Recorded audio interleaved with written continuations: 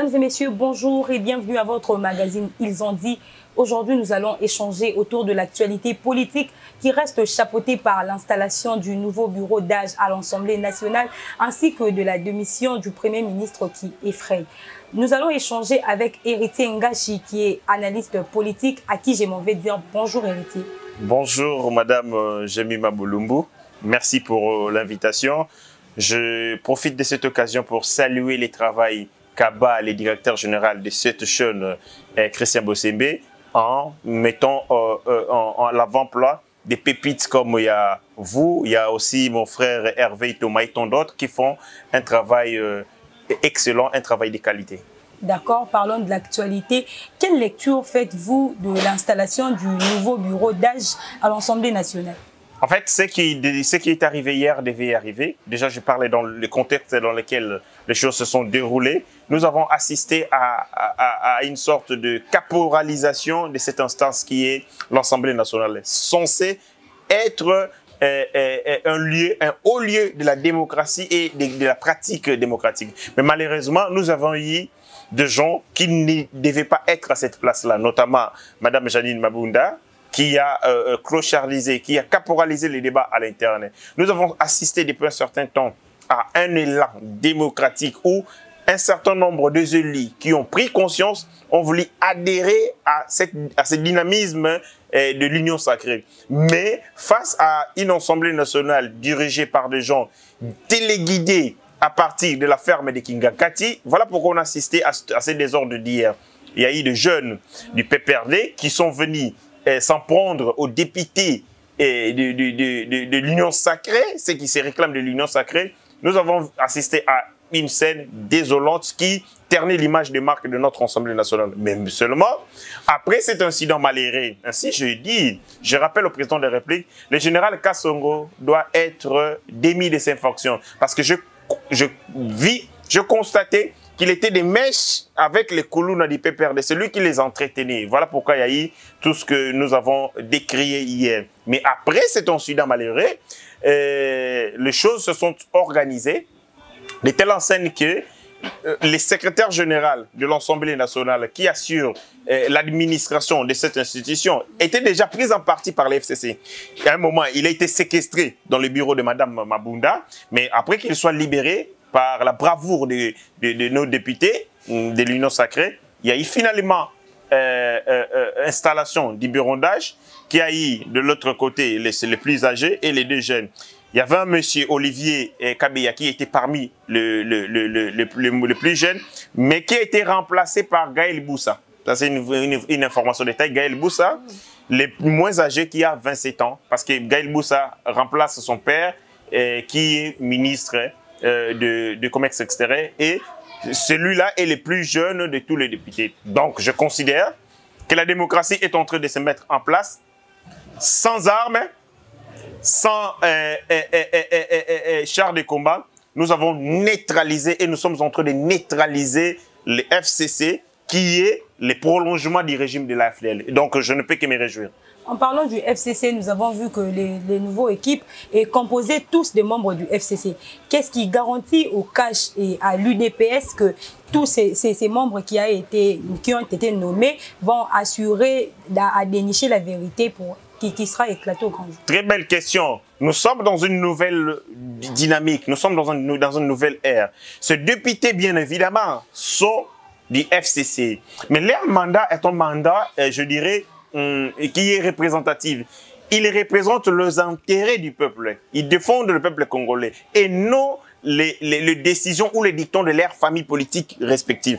Ainsi, ils s'inscrivent maintenant dans la vision du chef de l'État celle de bâtir une union sacrée pour résoudre les préoccupations du peuple congolais. Donc, la garantie est celle-là. Ces députés ont aussi besoin de sauver leur image ternie et aussi besoin de contribuer cette fois-ci. Au lieu d'être au service d'un homme, soit-il, puissant soit-il, cette fois-ci, ils veulent être au service de la nation et ils ont la possibilité, avec l'union sacrée, de mettre la main dans la pâte. S'ils refusent, ils seront autodétruits, ils vont s'éliminer eux-mêmes. Parce que, madame, vous savez très bien, lorsque vous voulez bâtir une nouvelle maison, on peut insérer des meubles qui entre dans la logique de la nouvelle réconfiguration. Mais quand vous ne pouvez pas vous, adapter, vous ne pouvez pas eh, eh, vous intégrer dans la nouvelle dynamique, c'est l'autodestruction. Voilà pourquoi il y a des personnes qui iront en chômage. Mabunda va s'occuper des lions de, de Kabila Kingakati et Mwamba va aussi s'occuper de Saint-Jardin. Parce que c'est comme si ces gens ne sont pas à leur place. Ils ne comprennent pas ce qu'ils devaient faire comme élus du peuple. Et ce nouveau bureau se mettra au service de la nation pour bâtir cette union sacrée que nous voulons de, de, de, de vivre. En parlant de Mabunda, qu'est-ce qui justifie son entêtement jusqu'à ces, à ces jours ah ben, ben, bon, Madame, quand elle était euh, ministre de, portefeuille, je voyais une dame, euh, euh, une intelligence sûre. Mais quand elle est mise au service de, la politique, elle est mise au service d'un individu, il a voir de soi que la qualité euh, de, ses, de, sa performance, ses frites. C'était une grande première. Après Fidaline Omatuku, qu'on a eu président de l'Assemblée nationale et l'Assemblée des transitions sous Mouzé, mm. c'est l'une des premières figures, une femme à la tête de, de, de cette institution. Elle devait porter le charisme, les aspirations des femmes, parce que les femmes sont des gens de conciliation, sont des femmes de, de, de gens de sagesse. Mais la maman est descendue très bas en voulant à tout prix plaire au lion de, de, le, lion de Maman Olive. Mais malheureusement, ironie du sort, le peuple s'est levé comme un seul homme pour braver la paix, afin de mettre un terme à ces régimes de l'AFDEL qui a mis ce peuple dans la misère et dans, euh, euh, je, dirais, dans les gouffres.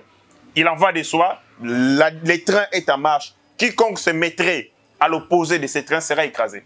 En parlant de cela, est-ce que, que, deviendront les FCC Est-ce qu'ils vont s'allier à Martin Fayoulou et Adolphe Mouzito pour former une opposition? Ah non, ne parle pas de Mouzito. Mouzito, c'est pas un politicien. Doit tout ce qu'il est devenu aujourd'hui, c'est grâce à Kabila. Il doit être reconnaissant à, à, Kabila. C'est pas un leader que je vois conduire l'opposition comme ce fit les cas avec euh, Etienne Tshisekedi et autres. Le FCC ne peut pas faire l'opposition. S'il faisait l'opposition, il sera l'opposition la plus ridicule de ces pays parce qu'il n'aura pas la capacité de mobiliser le peuple. Vous savez, pour être dans l'opposition, il faut d'abord avoir des nerfs. J'imagine que Kabila est en train de faire une marche et on les gaze, comme on l'a fait du, du, temps de, de Tshisekedi, on les gaze ici sur l'avenue enseignement. Est-ce que vous voyez Kokonyang absorber les gaz lacrymogènes Est-ce que vous, vous, voyez Mende eh, eh, être arrêté comme on, le faisait? Non, ces gens ne peuvent pas faire de l'opposition parce qu'ils n'ont jamais été préparés à mener un combat loyal. Et c'était tout simplement pour s'arracher. Ainsi, ils sont venus pour protéger les pouvoirs des Kabila. Ils ne, ne voyaient même pas ces gens faire l'opposition. Beaucoup d'entre eux fuiront, ils seront en exil. Certains feront la nage pour aller au Congo-Brazzaville parce que leur place ne sera plus dans ces pays. En parlant de la mère Mende, il a, dit un discours où, selon lui, le discours ou l'adresse du chef de l'État est une manière pour lui de donner au peuple un truc, un, une sorte de remède pur que la souffrance qu'ils sont en train déjà d'assumer. Est-ce que l'adresse du chef de l'État était sortie de textes légaux? Non, mais, le président de la République, euh, en tant que garant de la nation, au terme de l'article 69, celui qui régule la vie politique, le fonctionnement harmonieux et régulier des institutions, il a constaté qu'il y a eu une coalition qui a été mise en place pour résoudre les problèmes du peuple congolais. Mais deux ans après, c'est du surplace, on a fait euh, euh, euh, du statu quo, ainsi, il fallait donner un nouveau souffle à ces peuples. Le président de la République a pris ses responsabilités à la main, a demandé euh, le peuple congolais leurs avis au travers des consultations et ces consultations ont dégagé une suite logique que cette coalition a posé beaucoup de problèmes qu'il en a résolus. Ainsi, il fallait y mettre un terme pour bâtir de nouvelles perspectives. Je pense que le président de la République a donné de l'espoir. Il s'est inscrit dans les cadres normatifs pour donner au peuple congolais euh, euh, ces, souffles, ces seconds souffles que nous avons toujours voulu après l'adresse du président de la République, j'ai senti un ouf de soulagement. Les gens ont senti une sorte de liberté. Après la libération fantaisiste de 1997, la vraie libération a eu lieu le 6 décembre et le peuple congolais ne me contredira pas sur ces points. Est-ce que cette adresse avait rencontré les attentes du peuple concrètement? Mais bien, bien, bien, sûr, le président de la République a commencé par faire un diagnostic, pas les siens, mais un diagnostic posé par le peuple congolais. Ceux qui ont été consultés, et puis je, je, félicite tous qui ont, qui ont répondu présent. Nous aussi, nous avons manifesté notre euh, euh, bonne volonté de, de, participer aux consultations, mais ça a, été, ça a été un peu compliqué. Ceux qui nous ont représentés l'ont fait valablement, ils ont porté nos aspirations. Le président de la République a parlé de la situation sécuritaire, il a parlé de la situation économique. Le président de la République a parlé de la situation politique. Le président de la République a parlé du climat, c'est-à-dire il a englobé toutes les préoccupations, toutes les thématiques, tous les problèmes du peuple congolais. Maintenant là, comme il l'a dit en Kikongo, Salomé Banda, il est l'heure maintenant de se mettre rapidement au travail pour soulager tant soit peu la misère de ces peuples. Quand est-ce que nous devons parler de la majorité parlementaire? Est-ce lorsque le Premier ministre va démissionner ou comment? Mais non, mais non, mais, la, Constitution est, claire. Le président de la République nomme le Premier ministre au son de la majorité parlementaire, article 78. Si cette majorité n'est pas nettement identifiée, le président de la République nomme un informateur.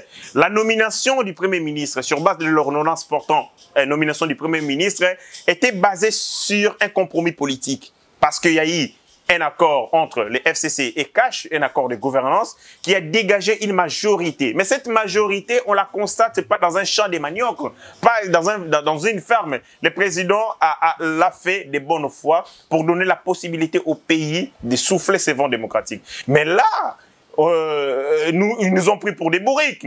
Nous leur avons accordé les bénéfices du douce, mais ils se sont illustrés davantage dans des pratiques rétrogrades. Ainsi, on va retirer. D'ailleurs, je vous en prends, madame, que le Premier ministre a déjà, posé déposé sa démission lors des échanges qu'ils ont eu avec le président de la République. Il a refusé de dire la primaire de leur échange au président de la République parce qu'il voudrait d'abord eh, se protéger. Il a demandé au président de la République la protection. Comme c'est fait le cas avec Benoît Lamba, le président de la Cour constitutionnelle, qui avait demandé au président des garanties de sécurité pour qu'il présente sa démission. Et lui aussi, a fait la même chose. C'est seulement les FCC qui l'embrise, c'est les FCC qui l'amènent dans, dans des conneries. Un papa de cet âge-là, hein, un papa de 78 ans, vous l'amenez dans des, dans, des combats politiques de corps à corps, mais il peut faire l'AVC. Et en plus, une chose, Lorsque ce monsieur était au copyright, la copyright, je crois bien coopération des entreprises, je crois tout ça, il a, il a, il a, son passage est un passage désastreux. Il était trempé dans des affaires de corruption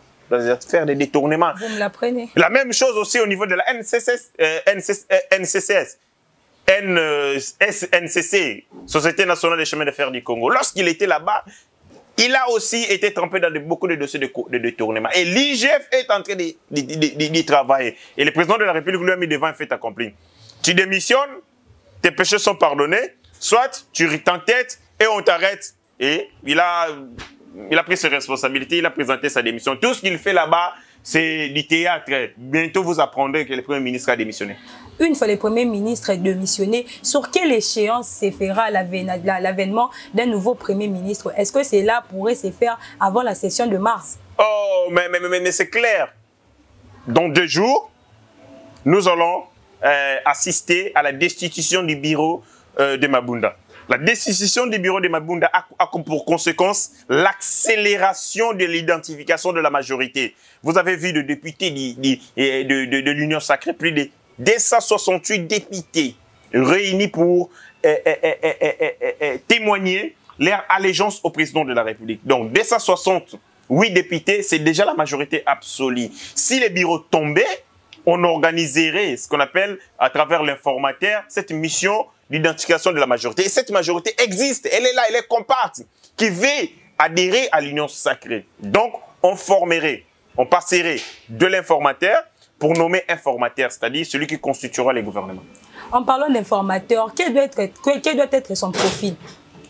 Euh, je pense que l'informateur, parce que c'est un travail de séduction politique, un travail de, euh, d'approche. Il faut approcher les gens, il faut discuter. Il faut qu'il soit, soit quelqu'un qui a une grande capacité d'écoute. Mm. Un rassembleur, mais aussi un homme qui a du crédit et une certaine notoriété politique. Parce que vous devez approcher les gens sur base de votre programme de gouvernement, leur proposer qu'ils adhèrent à votre logique. Il faut que ce soit quelqu'un de crédibilité.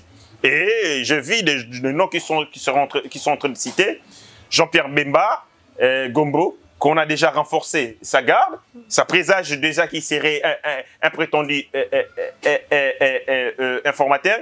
Il y a Katumbi qui a une grande famille politique avec plus de 60 députés au niveau de l'Assemblée nationale.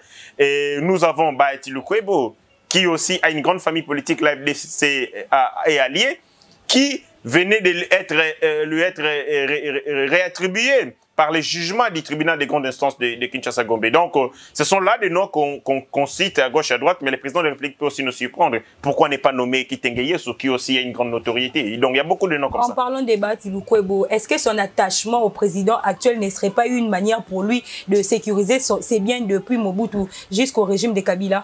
Bah bon, écoutez, les hommes politiques congolais sont les mêmes. Voilà pourquoi je suis en train de plaider pour, euh, euh, euh, je, dirais, la création, l'émergence de, de cette nouvelle élite politique. Parce que l'élite politique, depuis 1960 jusqu'à nos jours, n'a pas pu résoudre le problème des Congolais. On a eu beaucoup de partis politiques et beaucoup de problèmes. Alors qu'un parti politique naît pour résoudre une préoccupation déterminée de la société?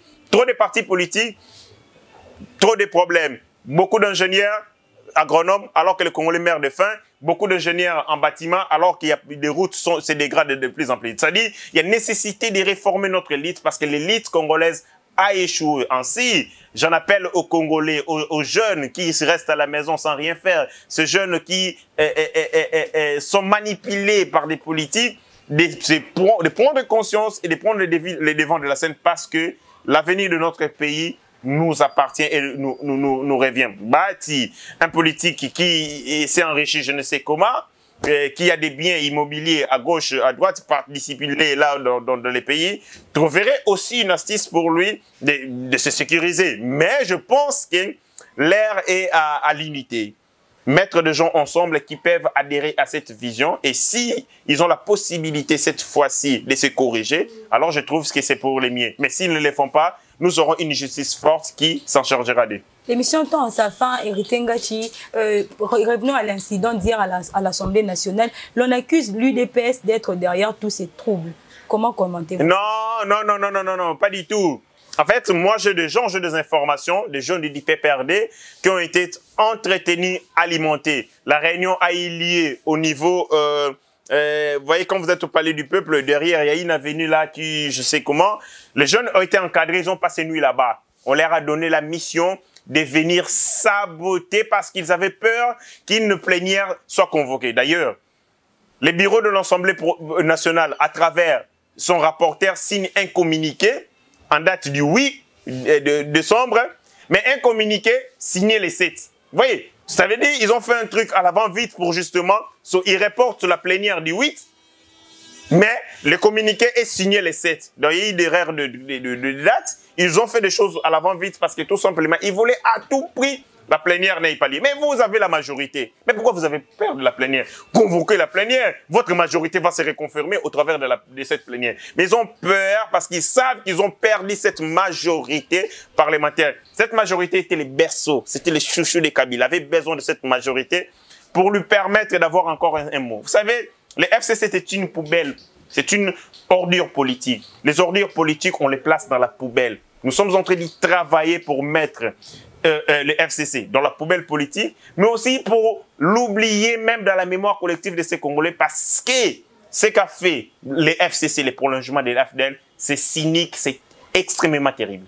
En parlant du FCC, nous prenons les volets pétition. Nous voyons euh, le, Parlement qui maintenant eux aussi s'élance à, à, cette, euh, chose de faire des pétitions contre Tambemamba. Est-ce la fin du FCC ou comment?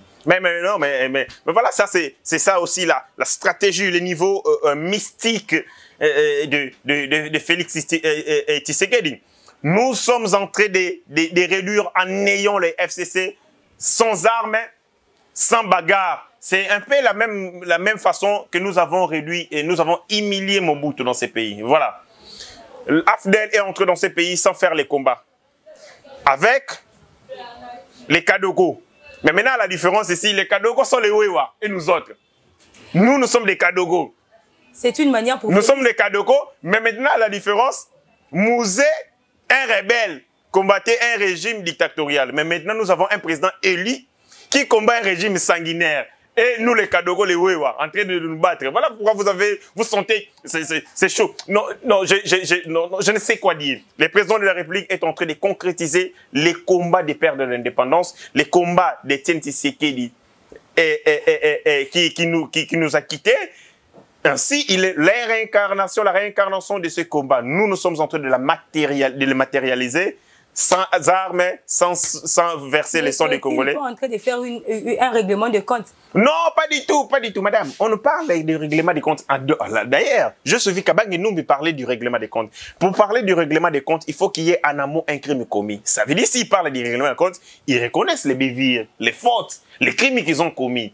Ce genre, vous savez que les gens qui ont commis des crimes, au, les crimes nazis au, au niveau de l'Allemagne, du premier au dernier a été retranché. Personne n'a survécu. Tout le monde a été condamné et jugé. Et les, crimes commis par les nazis, c'est 20 millions de morts. Les crimes commis par Kabila, c'est à peu près 10 millions. C'est la moitié des crimes nazis. Donc, on ne peut pas laisser des gens comme ça circuler. Nous devons les traquer, les punir et les rendre aux néants pour que les, la, la, la, révolution ait lieu, pour que les choses avancent, il y a certains de nos Congolais qui doivent disparaître. Et ces gens qui doivent disparaître sont du côté du FCC. L'émission est terminée en quelques mots. Héritier Ngachi, si vous devez dire un mot à la population congolaise au regard de la situation politique actuelle, qu'allez-vous dire? Je dirais au peuple congolais d'être vigilant. Nous ne devons pas sombrer dans le triomphalisme, croire que nous avons gagné la guerre. Non, nous avons gagné une bataille, certes, mais il nous faut être vigilants continuer à, soutenir le président de la République parce que les stratégies qui ont été mises en place par les FCC sont en train d'échouer les unes après les autres. Kabila voulait aller au Katanga pour aller faire la sécession au Katanga, mais nous l'avons fait ce qu'on appelle les films de Kevin. Maman, j'ai encore raté la voie. Tu n'iras nulle part. Tu restes ici à Kinshasa, nous allons te voir ici à Kingakati. Vous savez, quand un enfant grandit, un enfant est puni, il fait beaucoup de demandes de sortie pour aller se soulager. Maman, je vais aller me soulager. Maman, non, tu iras nulle part. Tu restes avec nous.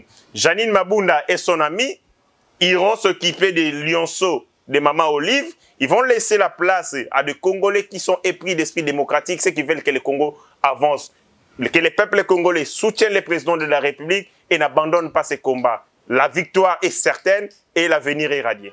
Merci Héritier Ngachi pour votre passage. C'est moi qui vous remercie, madame. Fin de cette émission, à vous tous qui l'avez suivi, merci de votre réelle attention. D'ici là, portez-vous bien.